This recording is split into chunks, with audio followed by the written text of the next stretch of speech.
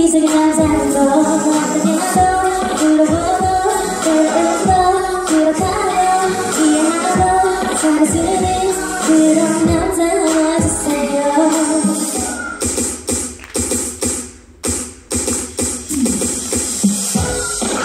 여자친구가 봐줄게요.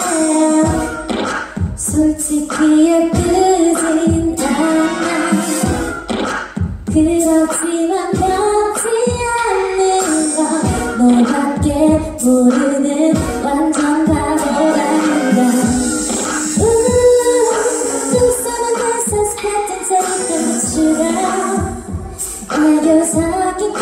你的美呀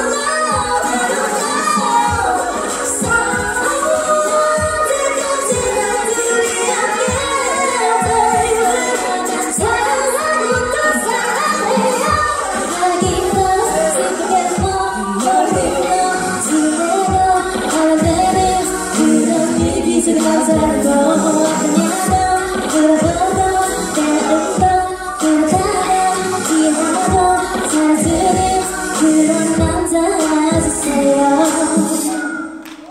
감사합니다. 네, 앞으로도 즐거운 시간 되시고요. 마이오스